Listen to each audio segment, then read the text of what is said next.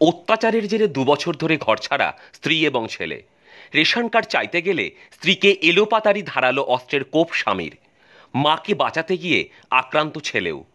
নদিয়ার শান্তিপুর পুরসভার ন নম্বর ওয়ার্ডের ঘটনা। অভিযোগ, এর আগেও একাধিক বিষয়ে মারধর করত স্বামী ও তার পরিবারের সদস্যরা। কোনো রকমে ছেলেকে নিয়ে ওই গৃহবধূ ঘটনাস্থল ছেড়ে পালিয়ে যায়। এরপরই শান্তিপুর স্টেট জেনারেল হাসপাতালে চিকিৎসার জন্য নিয়ে আসে স্থানীয় বাসিন্দারা। শান্তিপুর থানায় গৌতম বিশ্বাস এবং তার পরিবারের বিরুদ্ধে একটি লিখিত অভিযোগ দায়ের করা হয়েছে। অভিযোগের ভিত্তিতে তদন্ত শুরু করেছে শান্তিপুর থানার পুলিশ। বাচ্চাদের রেশন কার্ড বেরিয়েছে, আমি মাল ও নিয়ে চলে গেছে। আমি আনতে গেছি, তারপরে ও আমাকে বলল দাঁড়া তুই মাল নিবি? তুই আমাকে খুব জ্বালাচ্ছিস। তাই বলে ঘর থেকে দৌড়াই গিয়ে তাও বার করে আমাকে ও আমাকে কথা বলার টাইমও দেয়নি। মাজারের দিকটা আর হাতে আর ছেলে না ঠাকালে পাড়ার লোক না ঠাকালেও আমাকে আজকে ওখানে দিয়ে দিই কী কারণে? ও যে ও তো আমাকে দু বছর ধরে দেখে না খবরও নেয় না। বাচ্চা দুটোর কাঠ বেরিয়েছে মালটা ও তুলে নিয়ে চলে আসে। তাই আমি যাওয়ার জন্য ও আমাকে আপনি বর্তমান কোথায় থাকেন আমি বাপের বাড়ি থাকি। হ্যাঁ আমাদের অশান্তির জন্যই দু বছর ধরে আমি বাপের বাড়ি আছি। ও খোঁজ খবর কিছু নেয় না। আমার দুটো বাচ্চা। ওর জন্য শাস্তি হয় আমি এটাই চাই। আজকে হচ্ছে প্রথম আমরা মামা বাড়ি থাকি।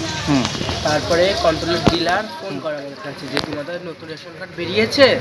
এবারে এই সপ্তাহের মালটা নিয়ে যাও। হুম।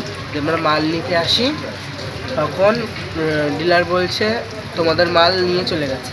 তুমি জিজ্ঞেস কে নিয়ে গেছে? তখন বলল তোমার বাবা। আচ্ছা। আমরা বাড়ি গিয়ে বাবাকে বলছি। আমাদের তো তুমি যখন তুমি কোনো খোঁজ খবরই নাও না। তাহলে আমাদের মালটা নিয়েছো কেন? তাহলে আমাদের মালটা দিয়ে দাও নাহলে তোমার মাল দিতে হবে তুমি রেশন কার্ডটা দিয়ে দাও। আচ্ছা। দাঁড়া রেশন কার্ড নিবি দাঁড়া। তাই বলে ঘর থেকে বড় একটা দাও বের করে এনে মার হাতে কোপ মারলো আর মাজার এখানে কোপ মারলো। তারপর আম- আমার আমি তখন ঠেকাতে যে বাবাকে ধাক্কা মেরে ফেলে দিয়ে বাবার উপরে উপরে উঠে পড়েছি।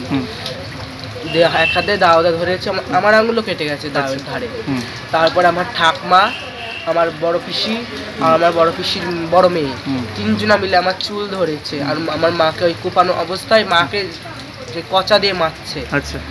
তখন আমরা কিছু না পেয়ে পাশের থেকে দুই তিনজন দড়িয়ে আসলো লাঠি নিয়ে। আচ্ছা। তখন আমাদের আমার বাবাকে আমার ঠাকমাকে ওরা চেপে ধরেছে আমরা তখন দৌড় মেরে ওখান থেকে চলে এসেছি। আমাদের দুই বছর। কি কারণ আলাদা থাকা? ওই মদ খাওয়া অশান্তি মারধর। মাকে মেরে মাথা ফাটিয়ে দিয়েছিল একবার।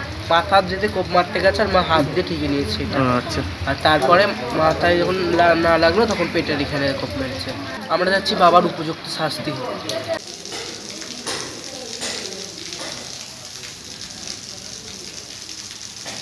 হোক লম্বা করে একদম মানে যা পড়লে দেখলে মাথা খারাপ হয়ে যাবে